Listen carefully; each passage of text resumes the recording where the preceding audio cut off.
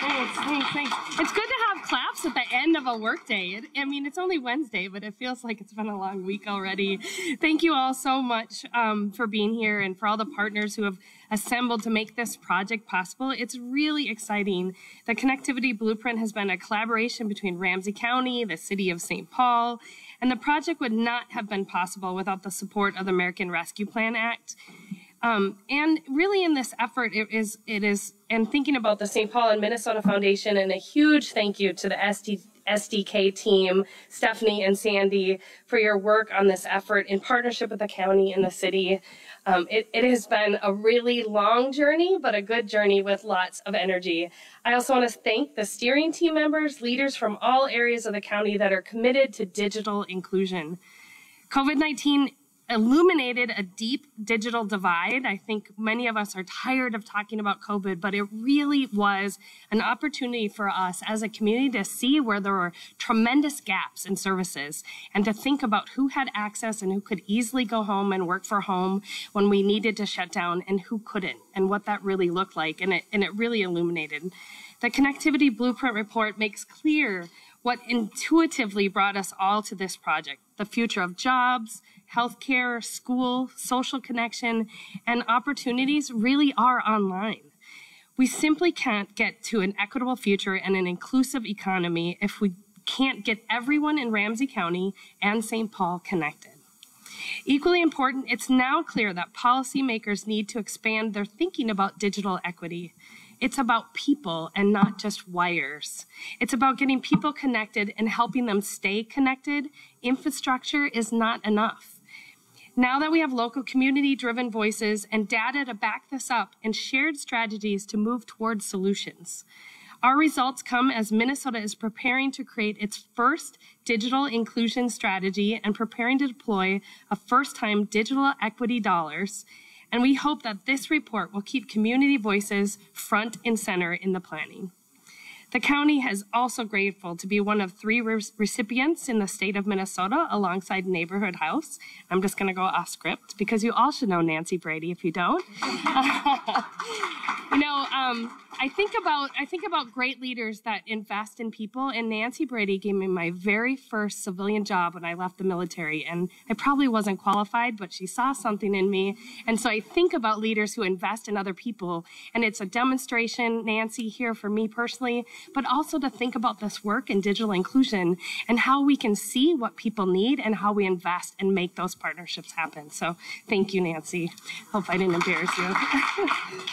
uh, you know, um, so uh, Neighborhood House and the Federal Communications Commission Affordability Connectivity Program Outreach Grant. With these funds, we'll be able to leverage community based trusted messenger relationships to promote the Affordable Connectivity Program and increase awareness of participation in the ACP among eligible households. We have got lots of great speakers, so I'm not going to waste any more time and turn over to our great, uh, great esteemed mayor, my friend, Melvin Carter.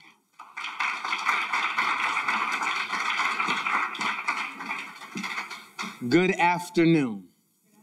I am honored to be here and excited for this opportunity. I was just with the governor this morning as we celebrated one of our local entrepreneurs being named Small Business Person of the Year nationally. Just yesterday, yeah, just yesterday, he was in Washington, D.C., receiving this award from President Biden and Vice President Harris.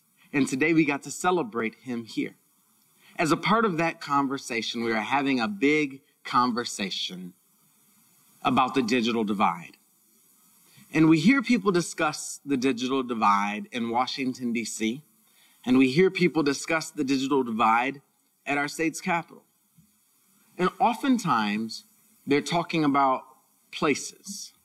They're talking about making sure that we get fiber, making sure that we get cable, making sure we get high speed internet to every corner of the geographic spaces that our state and our country touch. That's important. But we also know there's a personal digital divide. That just because a zip code has high speed internet that doesn't mean everyone is connected to it. That doesn't mean everyone gets a chance to drive it into their future. Chair MatasCastillo made a great point about the extent to which we've seen since the onset of the pandemic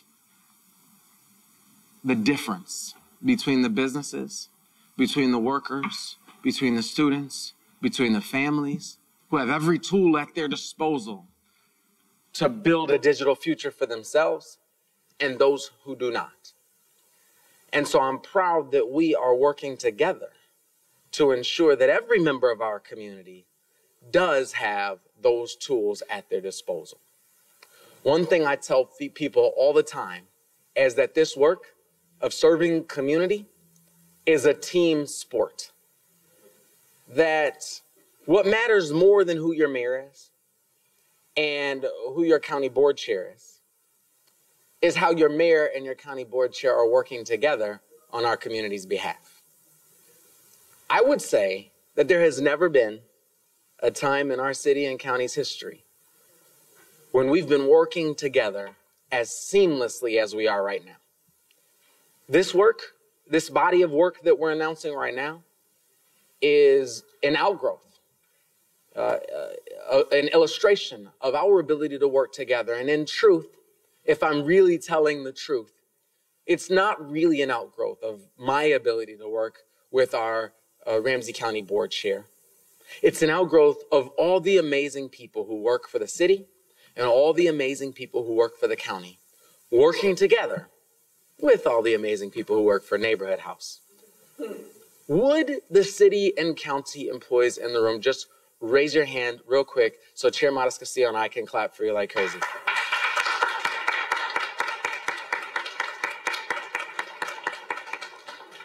We all appreciate all of your work that goes into this. I complain all the time. When I got into my office when I first got elected, there was no magic wand there. I don't just get to say abracadabra and ensure a bright digital future for our city. I don't just get to say abracadabra and ensure that all of our students can ac- not only can access the internet but knows how to use it. I don't just get to say abracadabra and know that all of our small businesses can have an online marketplace that people can access from all over the world. That requires all of us working together. And we are. So I want to thank our partners at the county and at the city. I certainly want to thank the members of the steering committee who have driven us uh, to this day. And without further ado, I want to introduce someone who is a core partner of mine uh, as I work together with the city council. We're going to let her speak. And uh, there's a city council meeting happening today, so I imagine uh, she's going to have to run, run, run off and go do the people's business on our behalf. So we thank you and appreciate you. Uh, that's Ward Six City Council Member uh, Nelsie Yang. Thank you so much for being here.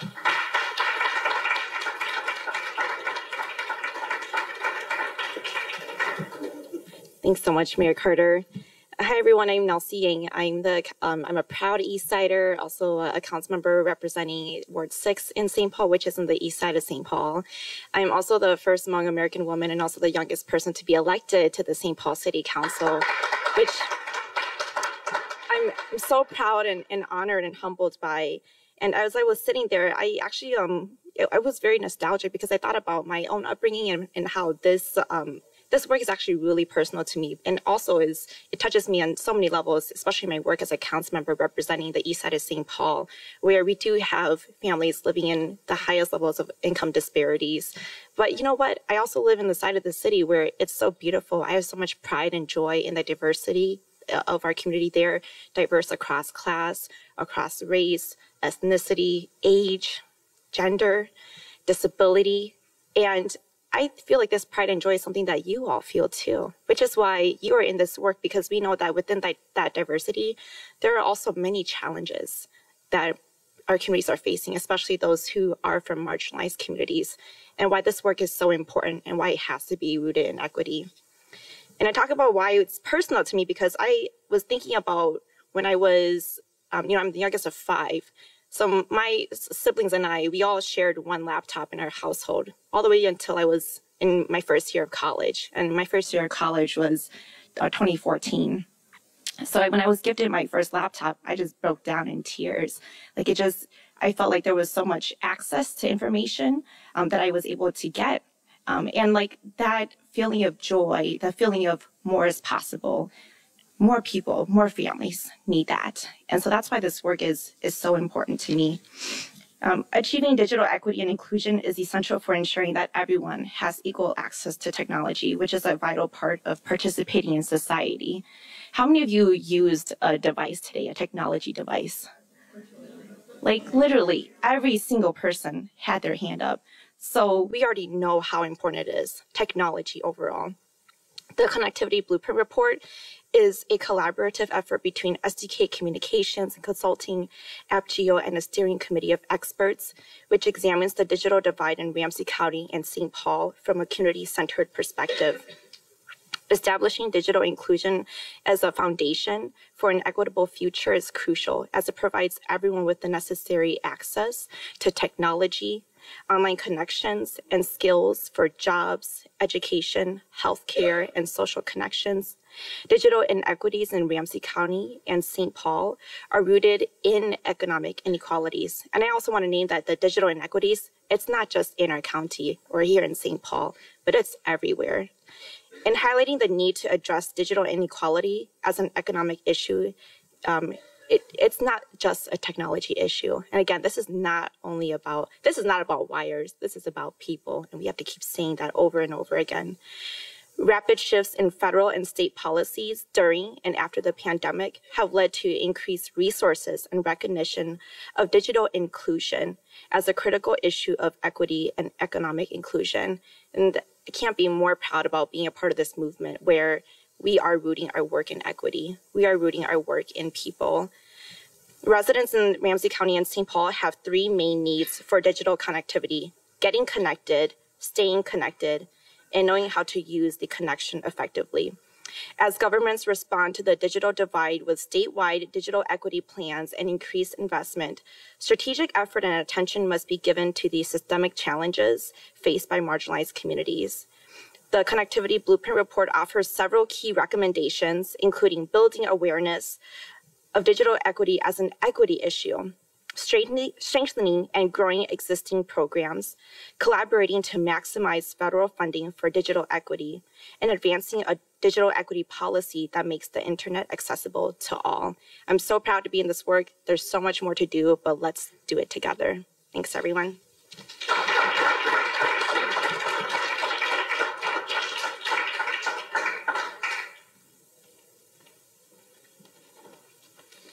Hello, everyone. I am Nancy Brady, and I'm the president and CEO of Neighborhood House. And thank you to our chair here for her really warm comments. We had a great time working together um, back in the day. Um, I am delighted to be here and welcome you to the Paul and uh, Sheila Wellstone Center for Community Building. If what we're doing today isn't community building, I don't know what it is because it's really uh, about allowing us all to work together and um, to have equal access to the opportunities and also equal access to creating opportunities in our community. Um, without uh, digital access and digital literacy, that doesn't happen.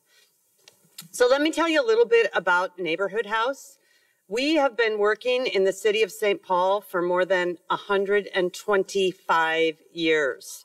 Um, we were, uh, we've always been here on the west side and we work in a number of neighborhoods throughout the city of St. Paul, including the east side. And we are very proud to be part of both the west side and the east side. Um, and what we do is we work with families going through crisis, families new to our community, families that have been in our community for a long time, families in transition, and we help families meet their basic needs, especially healthy food and housing stability. We help families achieve a sense of belonging in our community.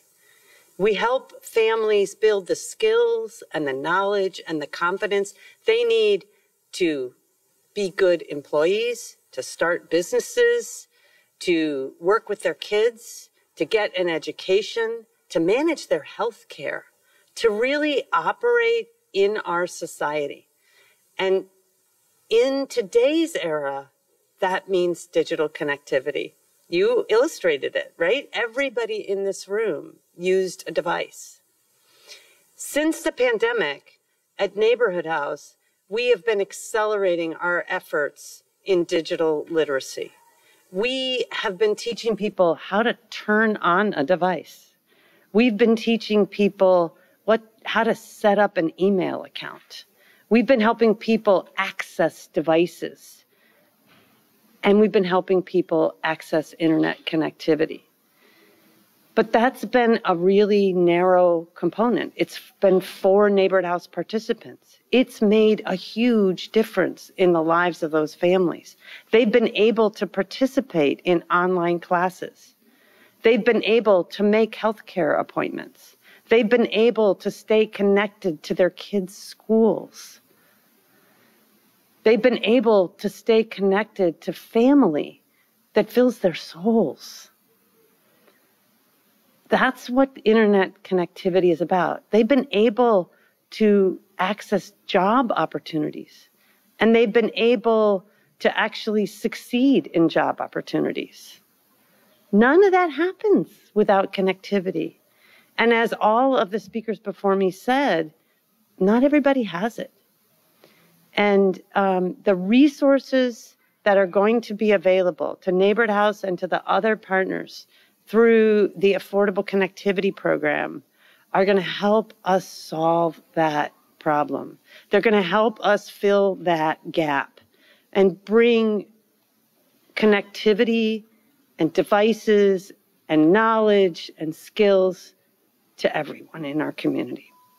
At Neighborhood House, it means that our leader, Katrina Benson, who's been working on this effort for a long time, is going to get two full time, culturally competent people to work with her, to partner with the county, to partner with the city. We, we don't do anything at Neighborhood House without partnering with those two organizations, right? In numerous ways. Um, we share the Wellstone Center here with El Rio Vista Parks and Rec Center. Um, so that partnership, having extra people to work in collaboration is going to make a difference. And those resources are coming. And then there's the support of the program. What are they going to be doing? We're going to do this in collaboration. We've already set up, or we're in the process. Katrina is in the process of setting up a tech access collaborative. And, and through that collaborative, all of us that are working on this issue will be able to share best practices our successes, our challenges, learn from each other, solve problems, figure out where the gaps still exist and where we need to go, what's working, what's not working, and how do we actually do this work in success. I could go on and on and on, but what I want to say is that digital inclusion, having access to devices, having access to knowledge, having access to internet, we need more than what we're doing today in connecting people to being able to borrow Chromebooks and hotspots at their local library. People need devices. There's wonderful stories here on the screen. People need devices, they need connectivity, and that's and, they need knowledge. And we have to solve all of that in order that we all get the benefit of everyone's full participation in our community. Yes, it helps each and every individual, but by doing that, it helps the rest of us too. Because none of us exist in this community without each other. I have a Paul Wellstone quote over my head We all do better when we all do better. That's what this is about. This is foundational. There is no equity without digital equity. So I think we're all here to answer questions that any of you have now. Thank you.